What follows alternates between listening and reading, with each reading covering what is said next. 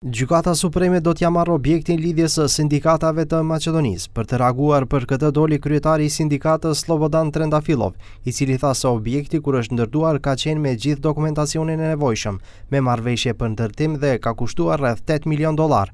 Një pjesë e atyre të hollave thotë se janë paguar nga vetë pagat e të punësuarve.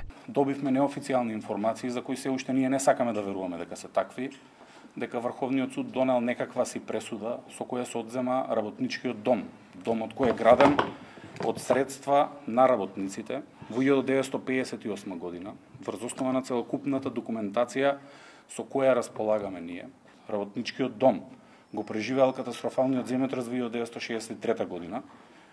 Kje go prezhivee i potresot od Vrhovniot sud koi se obiduvaat na vakov naçin da go napravat. Ky informacion u konfirmua nga vetë Gjykata Supreme, nga atje thonë se objekti ku gjendet LSM por edhe parcela e saj janë në pronësi të shtetit. Shtojnë se në periudhën kur është ndërtuar ndërtesa, të drejtën për pronësi e ka pasur një organizatë politike, e cila nuk ka pasur veprimtari tregtare.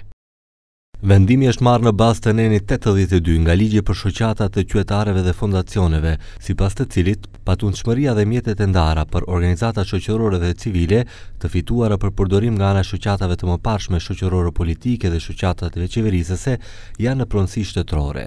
Në periudhën kur është ndërtuar patundshmëria, përfaqësuesi ligjor i të pandehurit ka qenë organizatë shoqëroro-politike, e cila nuk ka poseduar veprimtari tregtare, me çka nuk ka pasur dhe nuk ka mundur të ketë të ardhura për marrjen e patundshmërisë. Duke qenë se sindikalistët kërkuan dorëheqjen e kryetares së Gjykatës, nga Supremja thonë se kryetarja nuk ka të drejtë të merr pjesë në lëndë të tilla, e as që mundet të ndikojë në sjelljen e vendimeve.